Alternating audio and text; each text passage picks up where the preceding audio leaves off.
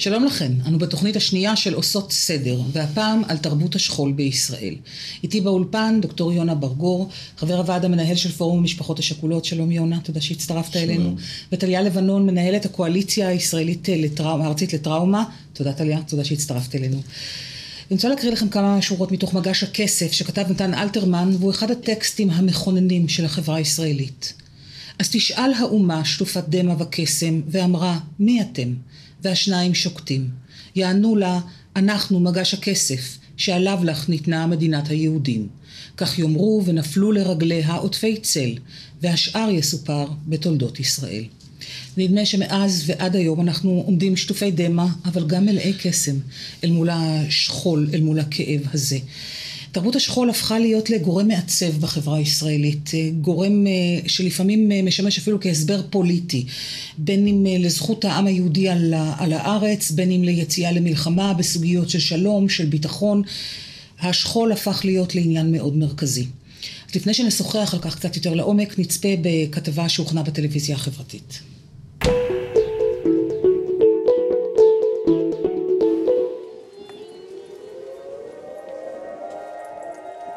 בספרו קהילות מדומיינות מתאר בנדיקט אנדרסון את קברי החייל האלמוני כסמל רב עוצמה של הלאומיות המודרנית.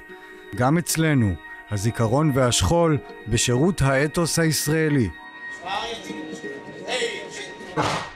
בתי העלמין הצבאיים שמתמלאים בעשרות אלפי מבקרים מהווים כעין בתי כנסת של הישראליות, אך תרבות השכול שתמיד הייתה מדורת השבט נסדקה בשנים האחרונות.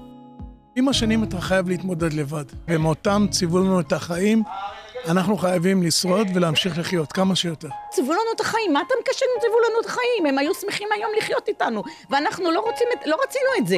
רק מישהו עשה טעות, אז תבואו תבקשו סליחה. נמאס מהקלישאות האלה, מה אתם רוצים לנקות את המצפון שלכם שאתם אומרים, הם במותם ציוו לנו את החיים? דמם שנשפך על רגבי האדמה מרווה את הארץ ומאפשר לה להפוך למה שהיא, גן פורח ומשגשג.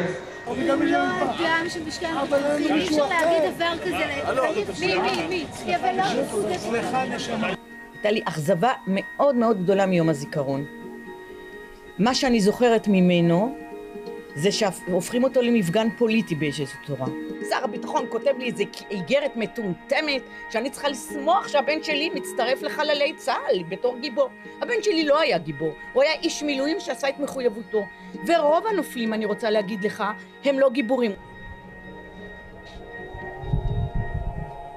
גם פרופסור יגיל לוי מתאר בספרו היררכיית המוות תיאוריה חתרנית ומרתקת על שינויים שחלו בתעדוף מחיר הדמים שהחברה הישראלית מוכנה לשלם בעימותים צבאיים. כשקורה לך אסון כזה, אתה בעצם, כל העולם נסבע בשחור. בלב פנימה, כשאני לבד, אף אחד לא רואה אותי. זה כבר עצב, זה כבר מחלה כרונית. הלב כבר שבור לנצח. חלק מהשינוי שחל בתרבות השכול הוא הופעתם של טקסי זיכרון אלטרנטיביים, שמפרקים את הקשר הגורדי בין השכול ללאומיות.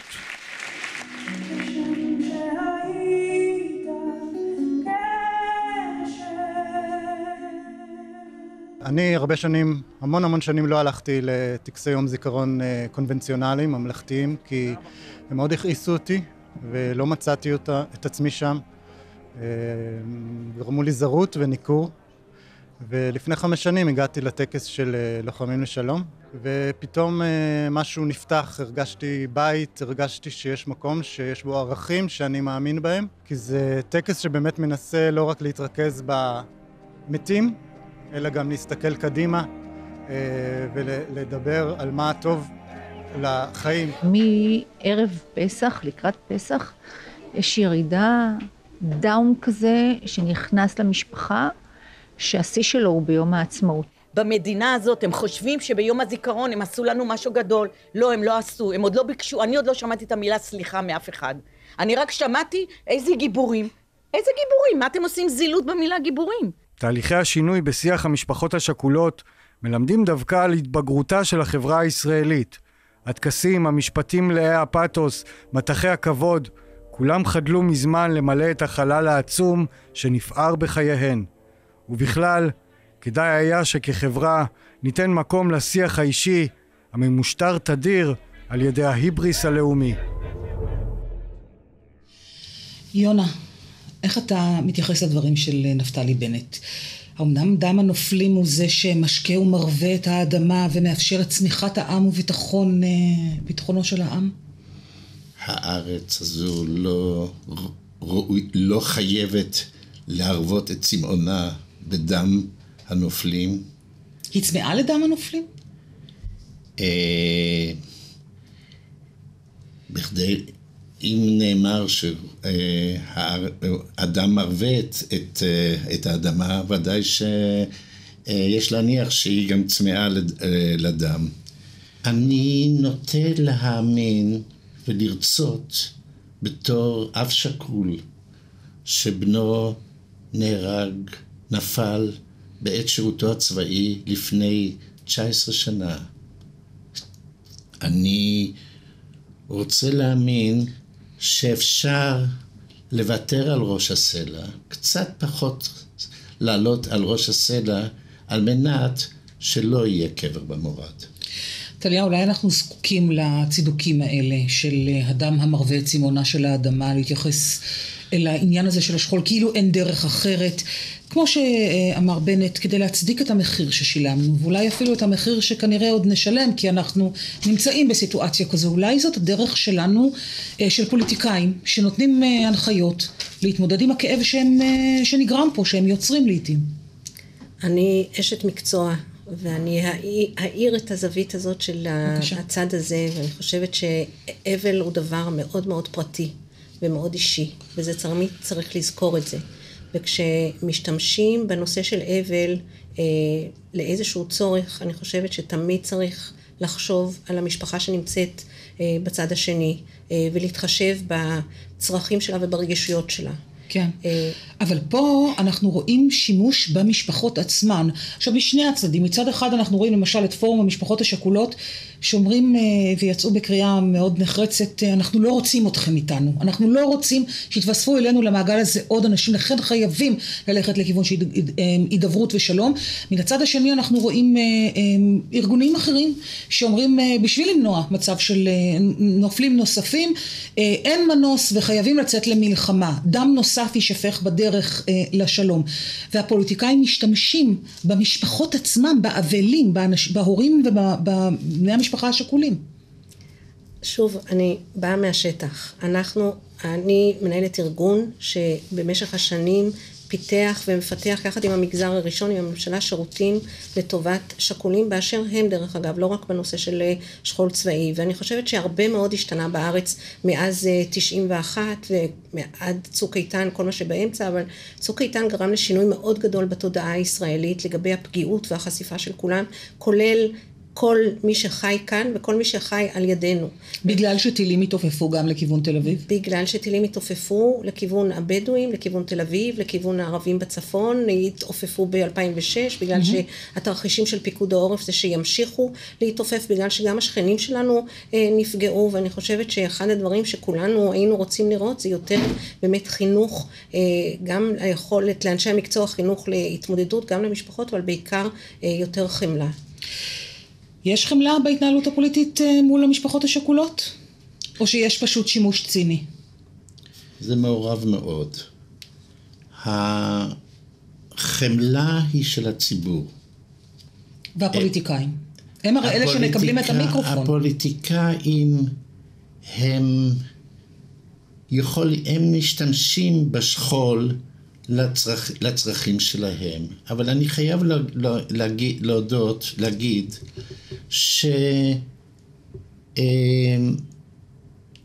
שהשכול אמ, אצלנו בחברה הישראלית זוכה למעמד מיוחד. את, בציבור, mm-hmm. ולכן גם הפוליטיקאים מגיבים, מגיבים בנוס, על, על הנושא הזה. אני חייב, אני יכול להגיד במפורש, שגם ב... החברה הפלסטינית, לשכול יש מעמד מיוחד. ולכן גם להם מותר להתבטא גם ב, לא בקונצנזוס הרגיל, כמו שגם אנחנו לא לגמרי זהים עם הקונצנזוס הרגיל. נצפה בדבריה של אה, רובי דמלין, אה, אם שכולה, חברה בפורום המשפחות השכולות, על רקע מיצג הקברים של הפורום, מיצג ממש מן התקופה האחרונה, מיצג מטלטל ומטריד במיוחד. בבקשה.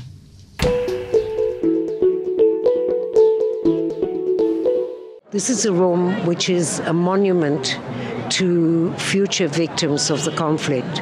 And so we created a coffin, which is in a, a, room two meters by two, with mirrors, so that when you look through a hole in the wall, you see hundreds of coffins, well, really hundreds of monuments, which say, We don't want you here. And that's really the message that we want to give. And we want people to vote for some for an alternative to the violence. What we want is for anybody that comes into the next government to understand that without some form of negotiation, there will just be another war and another 2,000 people who will have a reason to hate from Gaza, and another 70 families who will never be the same, and whose heart will always be broken. טליה, כשאנחנו שומעים את רובי שמתארת את אה, שורת הקברים המתרחבת, אנחנו חושבים על המתים שלנו, כמובן. מה עם המחיר שמשלמים האחרים? האם אנחנו מתמודדים עם העניין הזה של המחיר שאנחנו משיתים על האחר, על האח... עם האחריות שלנו? זה משהו שעולה בחברה הישראלית בהתמודדות עם שכול? תראי, אם את uh, מסתכלת אחורה על צוק איתן, אמרת קודם שהמיקרופון ניתן לפוליטיקאים. המיקרופון לא ניתן רק לפוליטיקאים, הוא מסתכל על הכל, התמונות מראות את הכל. והשכול גם פה וגם שם, והצער גם פה וגם שם, נכנס לכל בית. ואני חושבת שזה עניין מאוד ערכי, איך מגדלים דור חדש, לראות איך מתמודדים באמת עם, ה, עם המחיר של ה... אבל השיח החברתי שלנו שעוסק בשכול, אנחנו שומעים בו קולות בודדים שמתייחסים לצד השני ואלה הקולות של הפורום שמתעקשים לומר אנחנו לא לבד בכאב הזה יש פה גם מן הצד השני אנשים שחווים את אותו כאב בני אדם הם בני אדם. החברה הישראלית בהתמודדות שלה עם הטראומה הזו של האובדן הבלתי פוסק מיום הקמת המדינה האם אנחנו מסוגלים להתמודד עם המחיר שאחרים משלמים? אני חושבת ש... אני מאוד מעריכה את הפורום, ואני חושבת שלא רק הפורום מתמודד עם זה. אם את תעשי סיבוב בעוטף עזה ואת תראי איך אנשים, או תשמעי איך אנשים מתייחסים למה שהיה רק לפני 15-16 שנה באזור, כשהיה דו-קיום והיו יחסים אחרים, אני חושבת בגעגועים רבים, והם מתייחסים לזה, וגם הדור הצעיר שלא זוכר את זה מתייחס לזה. אז אני חושבת שיש הרבה אנשים שמתייחסים לזה, אולי זה לא מגיע לתקשורת, אני חושבת שהמודעות למחיר הוא, היא גדולה. היא גדולה. יונה? הרציונל של הפעילות של הפורום, שהם כולם משפחות שכולות, ישראליות ופלסטיניות. הרציונל הוא, וכך אנחנו באים לכיתות בבתי הספר התיכוניים, כיתות י"א וי"ב, שאנחנו קוראים לזה מפגשי דיאלוג, ובמפגשים האלו, במיוחד החברים הפלסטינים, באים ואומרים, הדם, הדם הוא אדום גם אצלנו וגם אצל הישראלים. וה, והדמעה, והדמעה, והדמעה היא מלוכה גם אצל האימא היהודית, וגם אצל האימא הפלסטינית. וכשאומרים את הדברים האלו, לי, לנו, זה מובן לחלוטין. לתלמידים... זה לא מובן. זה לא, לג... זה לא מובן, אבל הם, מקבל... הם שומעים, ואנחנו רוצים להאמין שזה מתקבל אצלהם, לפחות מתקבע באיזשהו, באיזשהו קונטקסט שיישאר יישאר, יישאר אצלהם. יחד עם זה, וכאן אני חושב שאני יכול לפנות אלייך, אנחנו מנסים ללמוד איך להיות הורה לילד מת. נכון. וזאת השאלה, וזה משהו לגמרי לגמרי אישי, ו... אבל יחד עם זה אני רוצ... רוצ... מקרינים את זה לציבור. אבל הציבור מסתכל על המתים האלה כאל גיבורים וכמעט מושא לחיקוי. ונשאלת השאלה אם במקרה הזה לא שמים אתכם על איזשהו כאן אה, גבוה, את ההורים השכולים, ואומרים כולנו רוצים להיות גיבורים, ואם הגיבור הוא המת, אז אולי אנחנו בעצם מקדשים בכלל את המוות, ולא במותם ציוו לנו את החיים, אלא במותם ציוו לנו חיים שמטרתם רדיפה אחר המוות. אני חושבת שיונה שם דגש על נקודה מאוד מאוד חשובה, וזה באמת, ואת מחזקת את זה, וזה באמת הנושא הזה של הציפיות החברתיות מההורים השכולים, לעומת התהליך התוך אישי שההורים עוברים, שהם קורים דברים בחיים והילד איננו והחיים ממשיכים וזה משהו שסוחבים באופן מאוד מאוד פרטי כל החיים. ולכן אני חוזרת למה שאמרתי קודם על החשיבות הזאת להיות מאוד רגישים להורה. אין גם בתוך המשפחה אנשים איבדו כל אחד דבר אחר זה לא אותו דבר. ברור. אה, ואנחנו חברה רב תרבותית בעצמנו אז, אז אה, לא דומה משפחה אתיופית למשפחה דרוזית למשפחה חרדית גם לא בתהליכי האבל. בשום דבר. ולכן וגם בתוך משפחה כמו שאני אומרת הדברים שונים. ולכן אני חושבת שהדגש צריך להיות מאוד על רגישות ולחנך לרגישות הזאת כלפי, כלפי המשפחות. וגם כלפי המשפחות הפלסטיניות. זאת אחד, אחד מן הדברים שאתם אה, מנסים לומר, שגם שם ישנם תהליכים, אה, אה, ישנו כאב. אנחנו יכולים לראות את זה בין היתר בטקס. אתם מנסים לשנות את כל התפיסה של שכול והתייחסות לשכול באמצעות הטקס האלטרנטיבי שאתם מארגנים ביחד עם לוחמים לשלום כבר השנה העשירית צריך לומר. הטקס הזה מנסה לשנות את ההתייחסות של הציבור הישראלי ואת המקום שלכם המשפחות השכולות משני הצדדים בתוך הסיפור הישראלי אה, והפלסטיני של השכול, באיזו צורה? התחושת השכול של אדם כמוני היא מעידה על זה, אומרת בעצם, שאני, שאני פספסתי את תפקידי כאב, ו... אבא צריך לשמור על הילד, וגם הפלסטיני יודע שזה, אלא מה?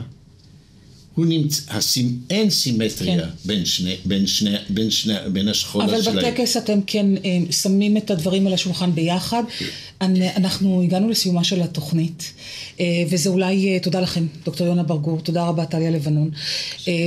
ביום שלישי, ה-21 באפריל, ערב יום הזיכרון, בשעה תשע בערב, בביתן עשר שבגני התערוכה, תנועת לוחמים לשלום, ביחד עם פורום המשפחות השכולות, יערכו את הטקס, טקס הזיכרון הישראלי-פלסטיני העשירי. אה, הציבור מוזמן ולבוא, להשתתף, למצוא, אה, לקחת חלק בשפה אחרת, באמירה משותפת אחרת. תודה רבה לכם. תודה. תודה, תודה לכם. זו חוויה, חוויה קצת אחרת, הטקס הזה. הוא משמעותי. מאוד, בהחלט. תודה.